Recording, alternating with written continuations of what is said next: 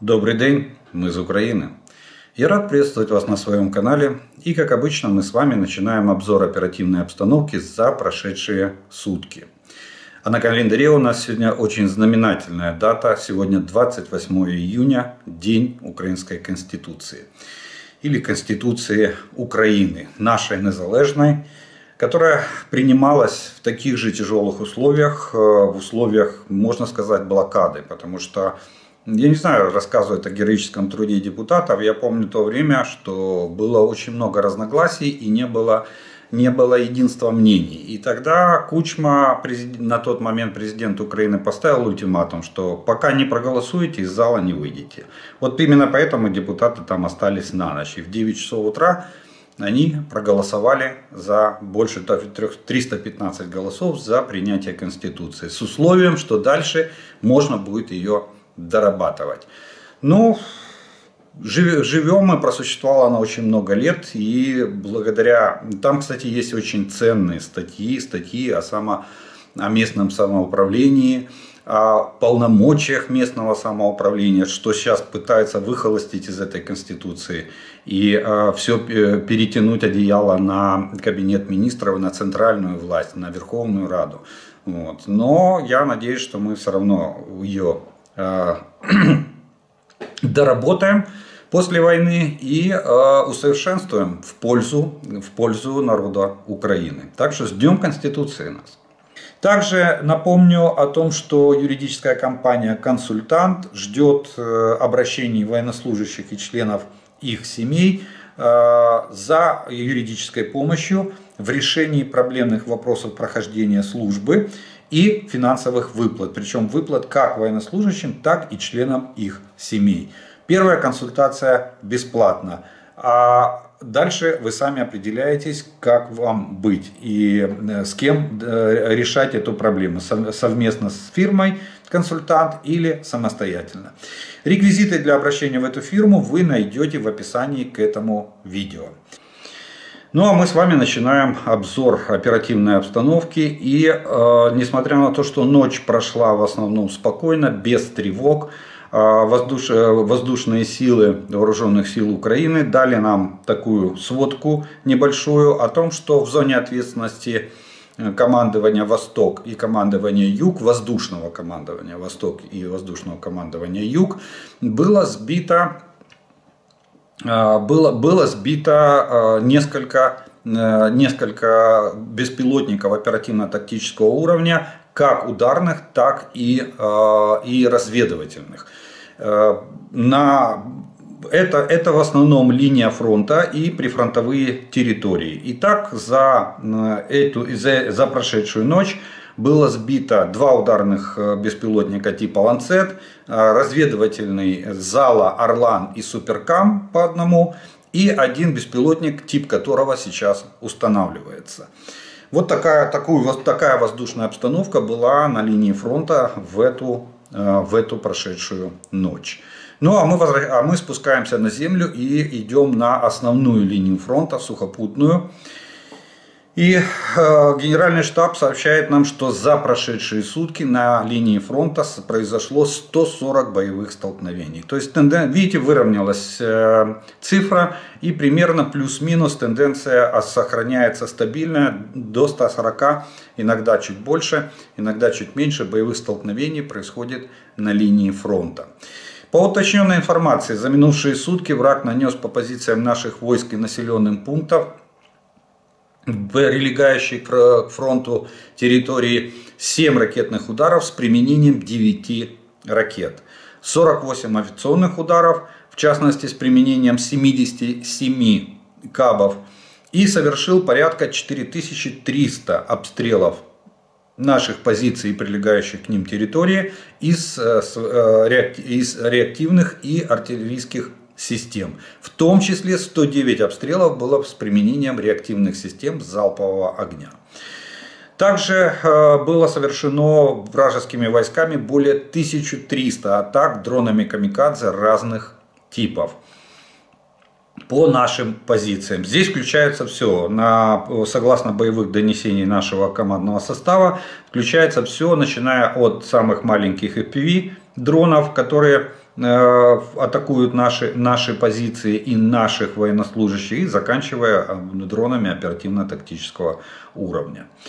Далее пройдемся по оперативным направлениям. И начнем мы с Харьковского направления. Здесь у нас появилась новая горячая точка. Это Сотницкая казачка населенный пункт. Я вам вчера про нее рассказывал. Там была попытка захода диверсионно-разведывательной группы врага, которая вступила в стрелковый бой с нашими пограничниками. Они были вынуждены вызвать э, противодиверсионный резерв. Они э, запросили поддержку а, артиллерии, что было предоставлено. Но и по результатам этого боя э, э, расистским диверсантам не удалось закрепиться. Они пытались закрепиться в этом населенном пункте. Им не удалось закрепиться. Понеся потери, враг отошел на свою территорию. Сейчас э, в этом населенном пункте мы, мы его полностью контролируем до государственной границы Украины. Ну и также остаются два плацдарма Волчанск и Липцы где э, нашим войскам удалось э, стабилизировать ситуацию. И несмотря на то, что враг еще пытается проводить штурмовые действия, а именно три штурма было в течение суток на этих двух плацдармах, они успеха не имели. Наши войска продолжают удерживать э, линии, линии обороны, свои позиции и продолжают наносить врагу довольно ощутимый урон. Причем ситуация на Харьковском направлении развивается в нашу пользу. И вражескому командованию приходится уже решать э, очень такую, я бы сказал, серьезную задачу в плане, где взять резерв для того, чтобы перебросить его на Харьковское направление. Мы знаем, что они снимали часть подразделений, было снято с э, Херсонского направления, э, направления ну мы называем его Приднепровское, переброшено сюда. Часть они э, вытягивают из, из тех э, моб э, ресурсов, которые собирают там военкоматы из глубины страны. Часть они привлекают наемников. Мы, кстати, вот на Волчанском плацдарме уже встречали и сомалийцев, и непальцев среди убитых и раненых и сдавшихся в плен. Так что там сборная солянка. Но, судя по всему, у российского командования нет плана по усилению, не, нечем усиливать эти войска, развертывать. И, скорее всего, проводя, они сейчас отводят, отвели часть сил и средств на ротацию, то есть для восстановления боеспособности. И, скорее всего, они будут, э, будут, э, если и будут их возвращать, то на ту линию обороны, как я уже и говорил, которая построена в 2,5 километров за Волчанском. И э, на плацдарме Лип, Липцы за где-то в 5 километрах от государственной, вглубь нашей территории, от государственной границы Украины. Далее идет на Скупинское направление. Здесь, здесь активность довольно высокая. Она сохраняется на том же самом уровне. 10 боестолкновений произошло за прошедшие сутки. Э, Степная Новоселовка, северо-восточная Петропавловки, Песчаная, Стельмаховка и Андреевка. Это основные места или районы населенных пунктов, где враг проводил вот эти 10 э, атак на наши позиции. Э, мы наращиваем здесь э, наши рубежи обороны. Мы стараемся повысить стойкость обороны для того, чтобы не допустить продвижения противника вглубь нашей территории. И в принципе скажу так, что устойчивость на Купинском направлении, устойчивость нашей обороны довольно высокая. За, несмотря на 10 попыток э, атаковать наши позиции, враг успеха не имел и линия фронта на Купинском направлении не претерпела никаких изменений. Ливанское направление. Ну, здесь немножко послабее боевая активность. Э, тут, э, наоборот, наши войска провели несколько таких я бы сказал, серьезных контратакующих действий и в районе Серебрян, Серебрянского леса, и в направлении Тернов и Торского. Э, поэтому как бы, как бы враг, э, понимая, что мы довольно, довольно серьезно занимаемся вопросом устойчивости обороны, особо больших таких масштабных атак не предпринимает. Хотя 8 раз пытался атаковать наши позиции. В основном это район Копанок, Э, Невского, Макеевки, тех же Тернов, того же Торского. Э, бои продолжались до поздней ночи. Но э, наши, наши войска отбили все атаки противника, и линия фронта осталась без изменений на Лиманском оперативном направлении.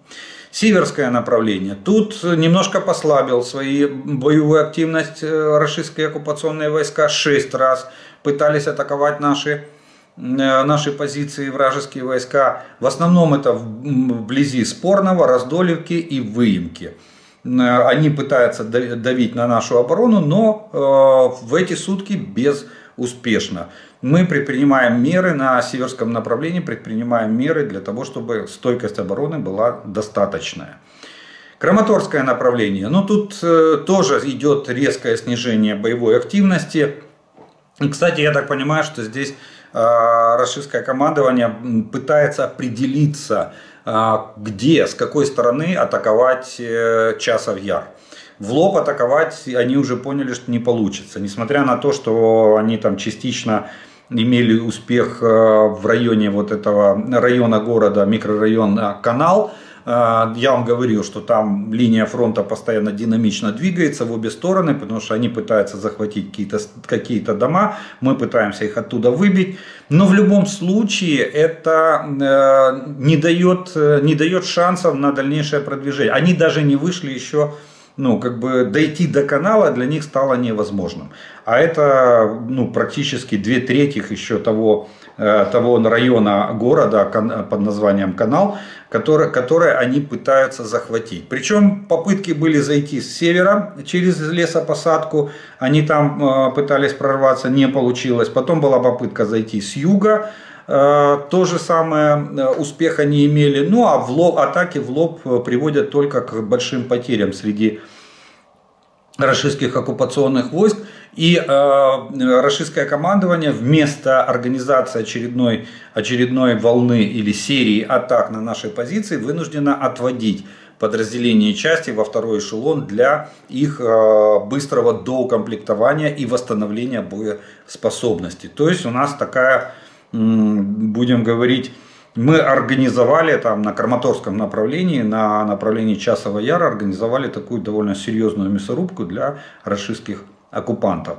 Также, кстати, южный фланг, Ивановская, Клещиевка, Андреевка, там э, сколько, сколько уже приложено усилий и э, сколько враг пытался атаковать наши позиции, линия фронта практически стоит на месте. Уже не первую даже неделю, не то что не, то, что не, там, не, не одни сутки.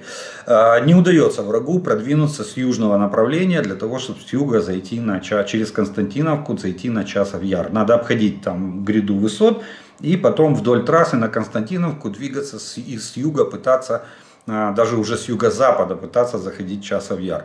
Нет, они не могут пройти Ивановку, Ивановку, Клещиевку, Андреевку. Вот эти три населенных пункта, рубеж там довольно серьезный. Кстати, сейчас опять же, вот вообще на Краматорском направлении, э, видимо, российское командование думает о довольно серьезной перегруппировке э, войск, потому что то, что там наступало, оно сильно потрепанное, скажем так, мягко э, выражаясь. И поэтому, возможно, туда будут переброшены даже ну, предположительно, это предполагается, для того, чтобы организовать прорыв, нужна что? Нужны танки, нужна броня. А где это можно взять? Это можно взять, допустим, на Купинском направлении с первой танковой армии, снять один-два танковых полка, ну тогда это просядет Купинское направление, там будет меньше, меньше бронетехники. Вот. Ну, посмотрим. А сейчас, на данный момент, теми силами, которые есть, 6 э, атак всего смогли организовать российское командование на Краматорском направлении. Линия фронта осталась без изменений. Далее Торецкое направление, а вот здесь резкий скачок боевой активности. Ну, они давно не, э, э, это направление было, будем так говорить, немножко в тени, немножко в стороне от основных событий, но вот они решили активизироваться 26 штурмов э, наших позиций на Торецком направлении. Основная, основные атаки были в районе населенного пункта Дружбы, Железного, Северного, Торецкого и Нью-Йорка.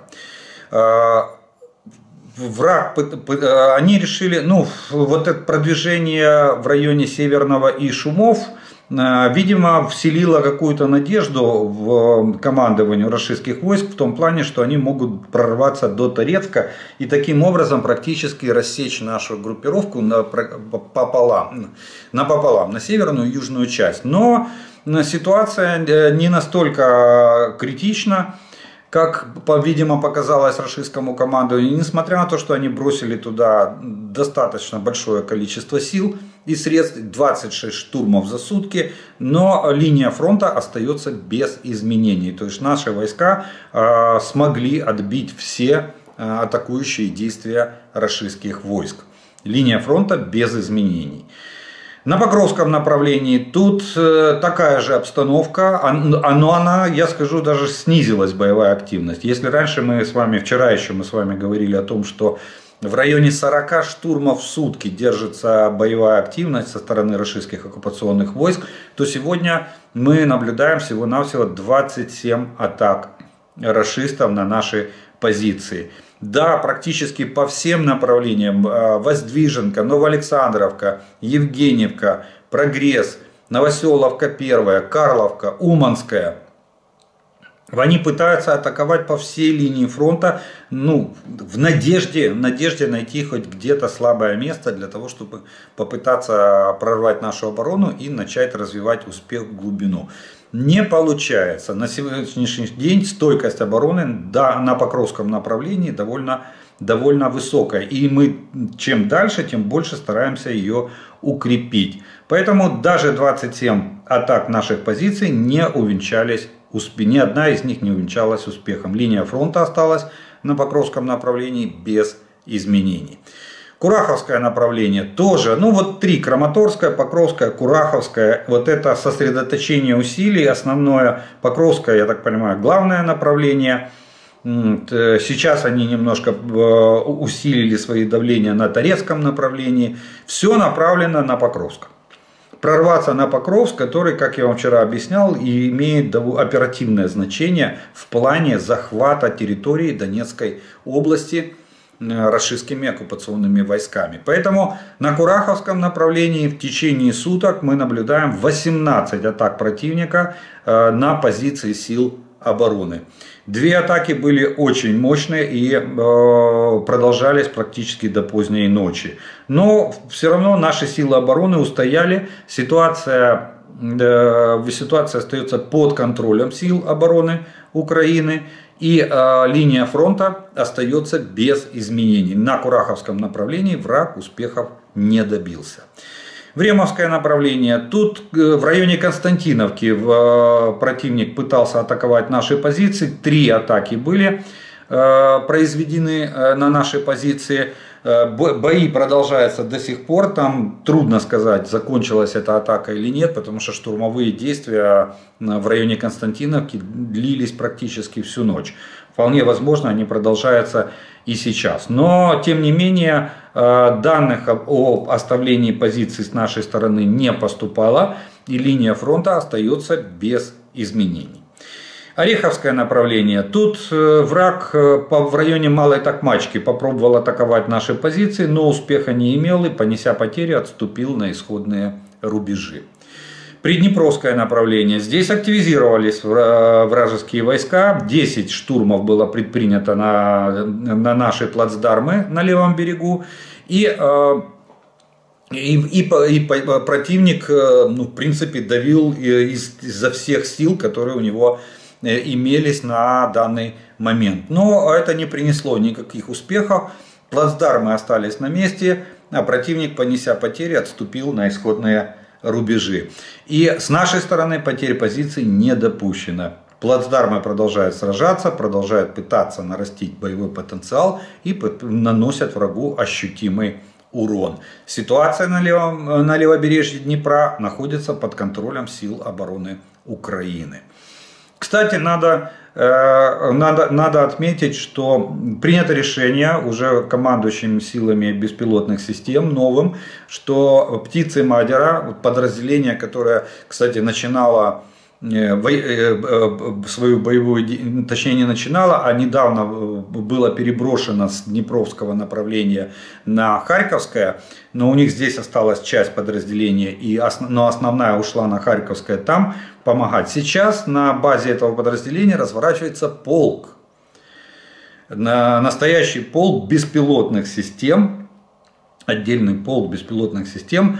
Вот. Э, сам э, Мадер приглашает, он записал видеообращение, приглашает всех желающих э, в рекрутинговый центр этого полка пройти отбор и стать оператором беспилотных систем. 119 вакансий открыто на сегодняшний день для формирования этого полка. Так что желающие могут присоединиться и влиться в ряды птиц Мадера на э, тех направлениях, где будут воевать подразделения этого полка. Но я скажу, что левый берег э, плацдармы этого, это особенно в тот период, когда у нас была нехватка боеприпасов, и наша артиллерия то открывала огонь только в крайних случаях для поддержки пехоты, вот тогда эти птицы Мадера, они просто выручали нашу морскую пехоту на левом берегу. Сколько, столько, сколько они пожгли, пожгли там врага, э, ну это надо еще, надо еще посчитать.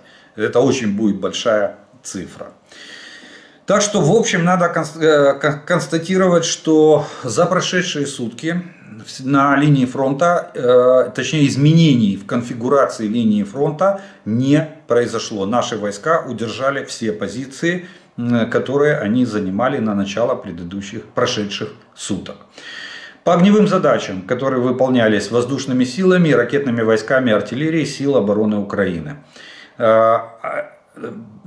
Наши, наши войска поразили 5 районов сосредоточения личного состава э, вооружения и военной техники врага, одно средство противовоздушной обороны, радиолокационную станцию противника, а также три состава с боеприпасами в прифронтовой полосе.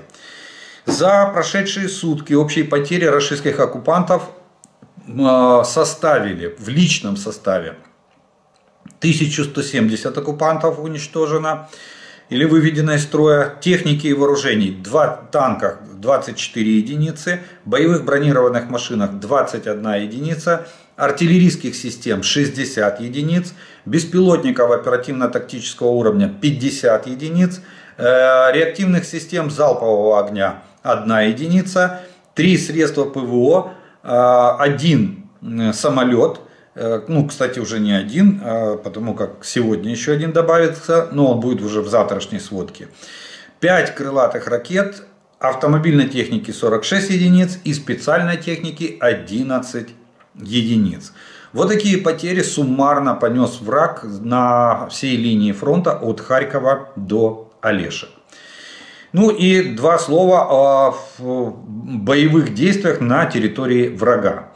А, сегодня около 4 часов 35 минут по местному времени а, беспилотник атаковал нефтебазу в Мичуринском муниципальном округе Тамбовской области. Она горит. Об этом сообщил тамбовский губернатор. А более подробно информация звучит так. Атакована узловая станция магистральных нефтепродуктов – в Тамбовской области. Это не просто нефтебаза, это перекачивающая станция, которая находится на магистралях по продуктопроводов, которые перекачивают нефть, топливо различных видов. Дрон попал в резервуар с нефтью линейной производственно-диспетчерской станции Никольская э, акционерного общества АК «Транснефтепродукт» в селе Новоникольское. Это узловая станция магистральных нефтепродуктов. Э, также этой ночью дроны атаковали завод микроэлектроники и войсковую часть в Брянской области.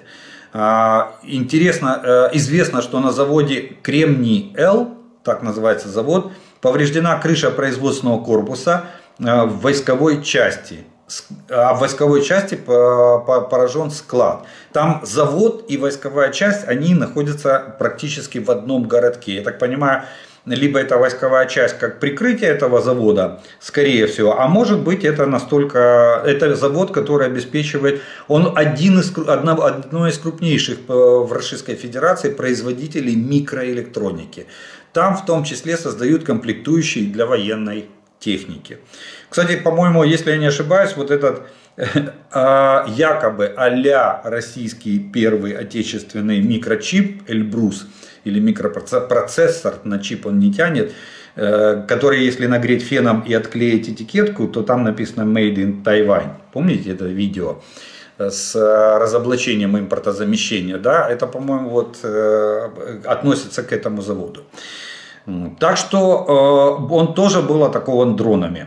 Чьи дроны атаковали завод, пока на, на момент записи этого ролика неизвестно. Но я думаю, что сегодня до вечера э, мы будем знать, чьи это были дроны, э, какой спецслужбы или вооруженные силы, может быть, уже применяют дроны дальнего радиуса действия. И, соответственно, завтра я вам уже в подробностях. Деталей будет больше, появятся спутниковые снимки сегодня или к вечеру, или завтра к утру. И завтра мы уже разберем в деталях, что повреждено, что горит, что может быть продолжает гореть. Я думаю, что нефтебазу, а, емкость с нефтью потушить очень сложно. Если она еще и повреждена и есть вытек, э, выток нефти из резервуара, то это будет продолжаться очень и очень долго. Ну, вот такая вот военная а, обстановка сложилась на всех оперативных э, направлениях, в том числе и на, на территории врага. Врага, война процесс обоюдный, поэтому мы максимально стараемся перенести боевые действия на территорию страны агрессора. Они должны понимать, что такое, что такое война. И, и, и дальше думать своей головой, продолжать ее или нет. Ну а э, скажем еще два слова о международной военно-политической обстановке, которая происходит как в нашей стране, так и за, и за рубежом. Но новость дня понятная. Номер один – это дебаты. Кстати, очень необычно, очень рано были проведены дебаты. Это не, не, не свойственно так обычно в Соединенных Штатах. Обычно они уже проводятся ближе к выборам.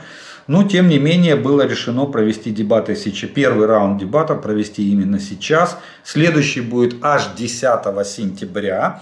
А в, э, в июле, смотрите, Демократическая партия проведет у себя праймерис, э, подведет итоги праймериза и определит, окончательно определит кандидата, который пойдет на выборы на пост, претендовать на пост президента Соединенных Штатов. А, а в августе республиканская партия будет проводить, э, подводить итоги праймерис и выбирать своего кандидата, который от, демокра... от республиканской партии пойдет в кандидаты в президенты Соединенных Штатов. И вот получается уже два официальных кандидата, которые на 1 сентября будут э, четко известны э, от, обои, от одной и от второй партии. Они 10 сентября встречаются, но это уже будет второй раунд дебатов. Дебаты были в довольно тяжелых условиях, я вам об этом рассказывал, э, вплоть до того, что была проверка на наличие наркотических средств, чтобы препараты э, не применялись, сильно действующие препараты, они иногда содержат какие-то какие-то э, элементы, ну, которые приравниваются к наркотическим. Это вот как допинг, да, вот чтобы не было допинга. 90 минут дебаты, два перерыва на рекламу, и при этом ни, никакого общения с своим избирательным штабом, то есть поддержки никак, никакой. Э, можно было пользоваться только записями.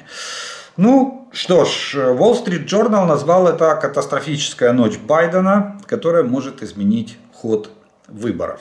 Э, многие считают, ну, по, даже по социальному, по опросу, э, соцопросу Байден действительно проиграл эти выборы. Все-таки старость э, берет, берет свое. Возраст 81 год, состояние здоровья не самое лучшее. Трамп хоть и на 3 года моложе, но тем не менее выглядит более бодрее. Что и мы и увидели в этих, в этих дебатах. Байден говорил медленно, говорил тихо, Э, ошибался очень часто. Трамп врал, очень много врал. Вот тут надо, как бы, э, чтобы ну, я даже не знаю, не, не то, что не закрывать глаза, а просто надо констатировать факт, что Трамп очень много врал. Очень много популистских заявлений, опять особенно касательно э, войны России против нашей страны, против Украины. На этой почве они там чуть ли не, не вступили в перепалку. Э, кстати, дебаты прошли, надо сказать, в атмосфере такого неприязни и разобщенности. То есть не, не было никаких там дружеских или, или других а, отношений, или даже, даже в некоторых моментах можно было узреть неуважение к оппоненту. Так вот, задача, поставленная перед двумя кандидатами на дебатах, была простой – быть собой. Лишь одному из них это удалось. Это как выводы с дебатов. Кстати, соцопрос дал 67 на 33. 33 считают, что Байден победил, а 67% американцев считают, что победил Трамп. Э, задача президента Байдена заключалась в том, чтобы продемонстрировать энергичность и последовательность, и он потерпел полное фиаско. Задача бывшего президента Трампа заключалась в том, чтобы сохранить хладнокровие, и в нехарактерной для него степени ему это удалось. Неспособность Байдена обосновать свою кандидатуру, он путался, терял ход мыслей, часто казался растерянным, оставила демократов в ошеломлении и шоке и вызвав безумные упреки в кулуарах, где они пытались найти выход из ситуации. Э, панические разговоры уже, начались, э, уже начались, поскольку партия пытается справиться с последствиями, некоторые демократы призывают заменить кандидата на пост президента от демократической партии. Трамп, как всегда, наговорил шквал лжи и преувеличений, а Байден становился все более уверенным по мере того, как, как э, э, длилось 90 минут. После этого некоторые демократы попытались перевести разговор на сущность, а не на стиль. Но немногие возражали, что хотя можно привести аргументы в пользу действующего президента и его послужного списка, Байдену не удалось сделать это убедительно. Ну там, допустим, такие ошибки он допускал. Ему надо было сказать, что за его что экономику Трамп оставил довольно в печальном виде. Вот эта торговая война, она увеличила безработицу в Соединенных Штатах. Помните, пошлины там Трамп вводил на товары, особенно на китайские. Э, пытался забрать, перевести заводы из Китая в Соединенные Штаты, Америка для американцев. А, и вот это, вот это очень сильно подорвало экономику и шатнуло, точнее, не то, что подорвало, и а, увеличилась безработица. Так вот, за время президентства Байдена было создано 15 миллионов рабочих мест. И Байден должен был это озвучить. Он ошибся и сказал 15 тысяч рабочих мест. Понимаете, сколько, насколько? На два, а он ошибся на практически три порядка. 15 миллионов и 15 тысяч. Вот такие вот а, ошибки звучали. В результате Байдену, возможно, удалось вывести гонку из длительного застоя, создав более резкий контраст со своим соперником, но не так, как ему хотелось бы. Ну вот, а, вот так, вот так вот охарактеризовала Wall Street Journal. Вашингтон Пост пишет, что на демократическая партия в поисках решение, менять или не менять кандидата, я думаю, что, скорее всего, наверное, заменят кандидата.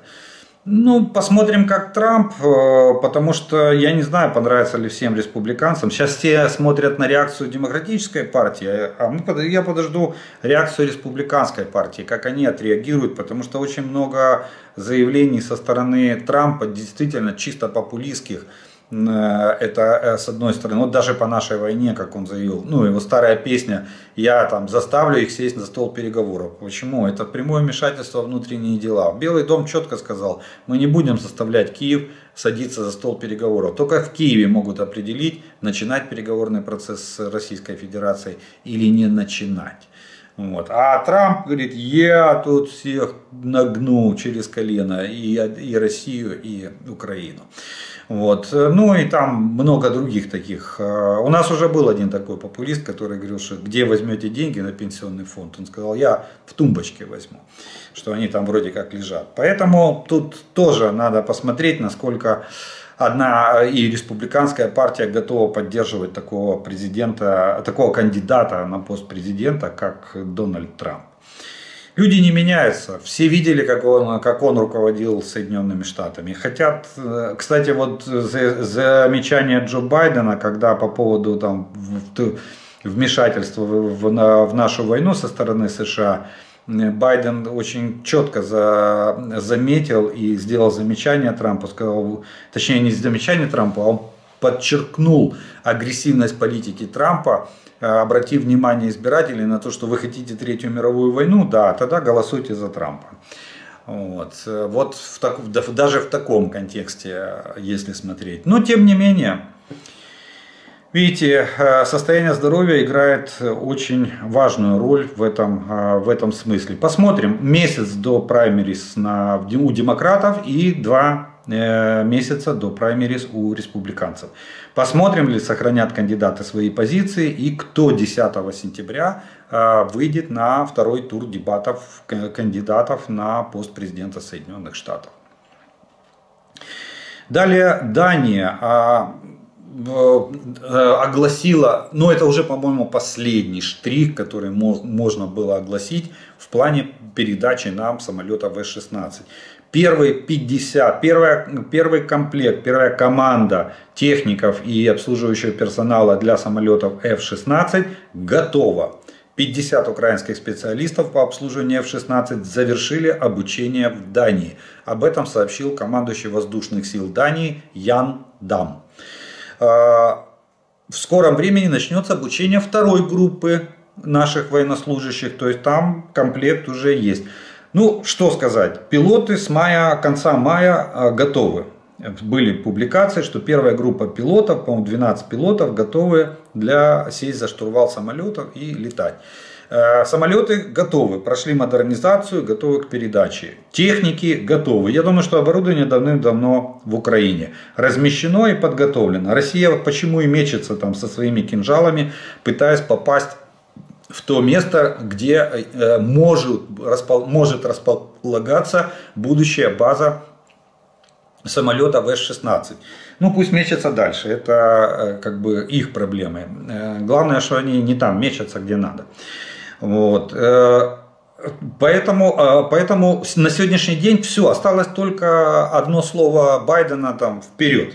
Или можно, или передаем любое слово, которое положительно прозвучит, для того, чтобы э, та же Дания начала нам, передала нам эту партию самолетов. То есть в принципе, в принципе, вот такие сообщения, как вот от командующего воздушных сил Дании, вселяют надежду и можно сделать, все-таки мое, я думаю, что мое предположение будет правильным, дай бог, конечно, что на саммите НАТО, на юбилейном саммите в Вашингтоне, э, Джо Байден э, объявит вот такой широкий жест доброй воли э, о передаче нам первых самолетов F-16. И, соответственно, мы их в июле, в концу июля месяца мы уже увидим их в небе в нашей стране. Они начнут выполнять огневые задачи. Тем более, что для их, видите, с одной стороны все готово, база, специалисты, оборудование, аэродромы и все остальное. А с другой стороны и небо подчищено. Посмотрите-ка, что мы творим с э, системой ПВО про Российской Федерации. Мы просто ее выносим, особенно в, на, на, на, в нашем украинском Крыму, который временно оккупирован российскими войсками. Далее по ситуации на Запорожской атомной станции. Российские оккупанты не прекращают мародерить на временно оккупированных территориях. Они не только отбирают личное имущество мирных жителей, предпринимателей, а также имущество предприятий, в частности в Запорожской, а, на Запорожской атомной электростанции. Оккупационный директор этой э, ну, гауляйтер, назначенный Российской Федерации, некий Атакищев помогает российским военным э, вывозить со станции незадействованное оборудование. То есть все, что там э, можно открутить и увезти, они все вывозят. Все вывозится под ноль. Э, псевдодиректор, он сам из Ростова-на-Дону, отвечает за подписание так называемых соглашений по передаче невостребованного имущества станции на нужды оккупантов, а также их размещение на территории Российской Федерации. А, сам он постоянно передвигается в окружении военных и почти не появляется в самом э, в Энергодаре, преимущественно находясь в Москве. Вся деятельность, деятельность Атакищева подчинена Национальному э, центру управления обороны в Российской Федерации. Говорится в сообщении Центра национального сопротивления, нашего центра. Вот, вот такая вот ситуация. То есть, ну у них это в крови. Украсть все, унитаз украсть, стиральную машинку украсть. Сельхозтехнику они воруют, зерно воруют. Теперь они решили все, что не используется на станции, все демонтировать, все вывести в Российскую Федерацию. Дикая страна, кошмар. Далее Финляндия передает э, Украине 24-й пакет военной помощи на сумму в 159 миллионов евро. Э, кстати, очень хорошее заявление министра обороны Финляндии. Ну, Финляндия это страна, которая на себе почувствовала э, русский мир. В 1939-1941 годах три военных кампании провел Советский Союз против Финляндии. Да, часть Карелии они отхапали, захватили. Э, часть финской территории. Ну, какой ценой э, это, как, как обычно, не обсуждается. Ценой там заваливания трупами и обмороженными и замерзшими э, на, финской, на финской территории советских солдат. Но, тем не менее, вот это у Сталина была такая победа. Не у Сталина, у Советского Союза. Потому что это была политика государства. Финляндия намерена поддерживать Украину в ее борьбе. Речь идет не только об Украине, но и о праве всех свободных народов на свое существование. Мы, финны, из собственной истории поняли, насколько важен этот вопрос, заявил министр обороны Финляндии. Так что Финляндия будет нас поддерживать. И вот очередной пакет на 159 миллионов евро мы, они отправляют, военной помощи они отправляют в нашу страну. Еще одна очень интересная новость. Э, оказывается, причем уже давно, несколько месяцев, США, Израиль и Украина ведут переговоры о поставках Киеву комплексов противовоздушной обороны Патриот, которые выводятся из эксплуатации сил обороны Израиля.